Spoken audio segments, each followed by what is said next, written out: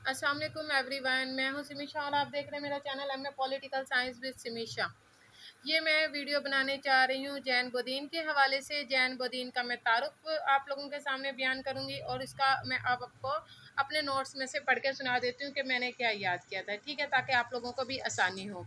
जैन बोदीन का तारुफ, जैन बोदीन 1530 में फ्रांस के एक शहर में पैदा हुआ। कानून में अली तालीम हासिल करके पेरिस में वकील की हैसियत से कानून का पेशा इख्तियार कर लिया, जो कि पंद्रह में वकालत का पेशा तर्क कर माइकल माइकल हैपिटल ये एक इंसान का नाम है और फ्रांसिस डी लाइनर्स के साथ मिलकर एक सियासी जमात पॉलिटिक्स की बुनियाद रखी।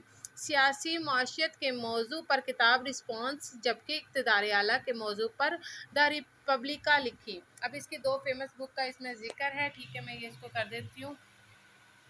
जैन बुदीन 1530 में फ्रांस में पैदा हुआ था, वकालत वकील था, ठीक है, लेकिन उसने माइकल माइटिकल हॉप्टिकल और फ्रांस दी लाइनर के साथ मिलकर एक जमात बनाई थी जिसको पॉलिटिक्स कहा जाता था और उसने एक किताब लिखी थी सियासी माशियत पर, जिसका नाम रिस्पॉन्स था और इकतदार आलम के मौजू पर रिपब्लिका लिखी। हालाँकि देखो मैंने इस पॉइंट में लिखा था, लेकिन फिर भी मैंने ये गोल दायरे बना के सर्कल बना के इसको अलग अलग डिस्क्राइब कर दिया। ठीक है, ये था जैन बुद्दीन का तारुफ। ओके हो गया। इसके बाद नेक्स्ट आप देखते रहे। अगले इसी तरह छोटे छोटे क्लिप्स बना रही हूँ, हर एक के बारे में इंट्रोडक्शन के रिव्यू के बारे में, ठीक है? इसका सबसे ज़्यादा जो मशहूर था, वो इकतदार आला का मौजू था। उसके बारे में नेक्स्ट वीडियो में बना दूँगी। Thank you so much